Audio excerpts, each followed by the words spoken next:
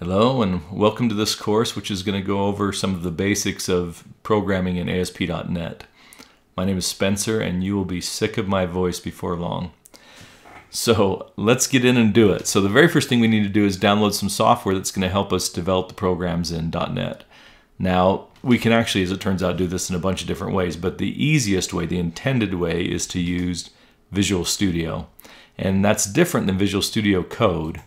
So I'm going to type in here Visual Studio Community. And so we're going to search for Visual Studio Community, which is the free version of the enterprise software that uh, Microsoft uh, provides.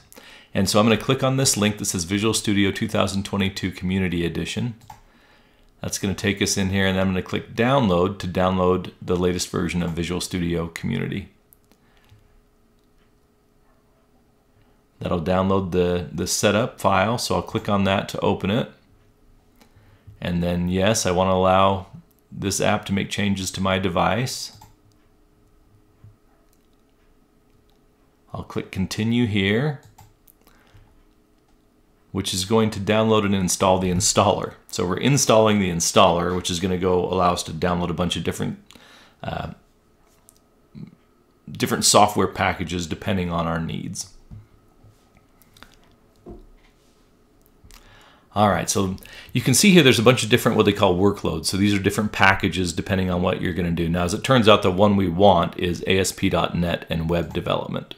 That's what we're going to use for now. We may install something later if we need it, but uh, that's the one we're going to use. Now you can see here, you can build lots of different things, Python, Azure, Node.js. We can build stuff specifically for the desktop. Um, and we can uh, do uh, build games. Um, data science, data data storage and processing. There's lots of different options here, and um, why not install all of them? Well, because each of them comes at a cost in terms of space, and if we install all of them, it gets really big and uh, you know sometimes unwieldy. And so uh, this workload is actually selecting a, a group of components from these individual component screen, but it does it all as a group. And so we're going to click here the ASP.NET and web development. And then I'm going to choose the option, which I just think works, works better, to download all and then install. Just seems to work better. If you want to change your location, you can do that. And then once I'm ready, I'm going to click the install button. Now we saw it was going to be six gigabytes, so this is going to take a little while. And so just to talk a little bit about what .NET is, um, you know, way back in the beginning of the the web, uh, you know, coming to be, uh, we had static pages. Everything was just static, meaning that the content didn't change, and so that worked well for displaying information, but for any site that was being updated on a regular basis, or think about websites that um, sell things, commerce websites, e-commerce websites. Um, we want that content to change based on what the user is is um, selecting, right? And so at some point, I believe it was in 2002, Microsoft developed ASP.NET, which was uh, ASP stands for Active Server Pages. And so um, the the content that was uh, developed there was dynamic, meaning it changed on a regular basis. And so um, as the user input something, the content would change based on what the user input. And that was a new and, and different thing way back when.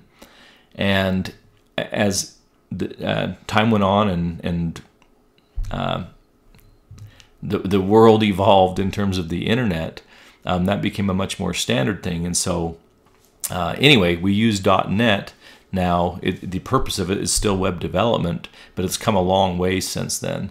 And it used to work only on Microsoft uh, computers that had the .NET framework installed. Now it works across platforms, and we have so many different tools that that help us as we develop these uh, .NET websites. And so, uh, or I should say, web apps. A website is a specific page. A bunch of pages working together is a web app and um, so we're going to develop a lot of web apps in this uh, particular course. And so, uh, again, we've come through many different versions. Um, the latest version of, as of the recording of this video is, is .NET 8 that was just released not too long ago, and that's what we'll be using. Um, but this environment has evolved and grown and become something really cool to develop web software. This could still take a while, so I'm going to go ahead and, and through the magic of video, pause until this finishes. But, uh, you know, in terms of software that you can develop in, Visual Studio is just about as good as it gets. And the, the apps we can develop, we can develop them uh, very quickly um, it, because .NET provides so many tools to us and it gives us a lot of flexibility to work with other uh, third-party applications and bring in other features into our our websites. And so, um, anyway, there's a lot of positive. It's just compared to other programming environments, you're going to notice it's a professional environment that provides us a ton of tools, maybe too many and maybe we'll talk about that along the way. But I'll go ahead and pause and let this installation finish out and we'll pick up when we're done. All right, it looks like we've just finished up. And so you get the screen that pops up that says sign in to Visual Studio. Now you can do this if you want to, but you can also just say uh, skip for now. Um, if you have a Microsoft account, you can sign in. Uh, I'm going to choose just for now to skip for now and uh, we can choose our theme. How do we want this to look? Um, traditional is is this look, and so I might go with what do I want to do? This is a tough decision. Help me out. Oh, you can't help me out. Uh, let's go ahead and I'll try the dark theme. Why not? Let's see what it looks like. I know that's a, a popular thing. So I'll start Visual Studio.